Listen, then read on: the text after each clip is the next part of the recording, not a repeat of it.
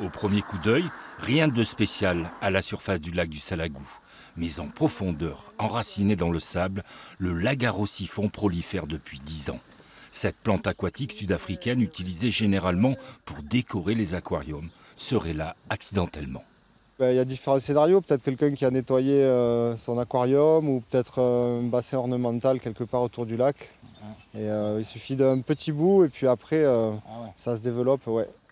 Du coup, chaque année, à la même époque, les professionnels du tourisme sont de corvée nettoyage sur les plages du lac du Salagou. On a une, euh, un groupe de bénévoles qui est venu nous donner la main et on a enlevé, euh, on a fait ça une session le matin, une session l'après-midi pour enlever tout cet herbier. Et voilà, donc ça a été une partie euh, manuelle qu'on enlève à la main ou avec des râteaux partout où on a pied. L'autre moyen est mécanique mais rudimentaire grâce à ce vieux tracteur.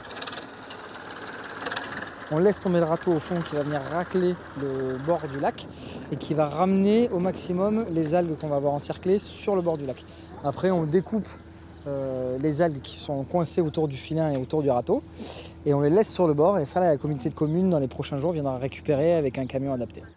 En attendant l'enlèvement de ces plantes aquatiques inoffensives, les habitués continuent leur loisir du week-end sur le lac. Bah, pour nous, on est habitués, mais il y a pas mal de touristes qui, euh, effectivement, qui aiment pas trop se frotter aux algues en nageant, donc euh, ça décourage, euh, ça décourage un peu de monde, oui. Mais pas d'inquiétude, il n'y aura plus de lagarosiphon pour chatouiller les premiers baigneurs de l'été.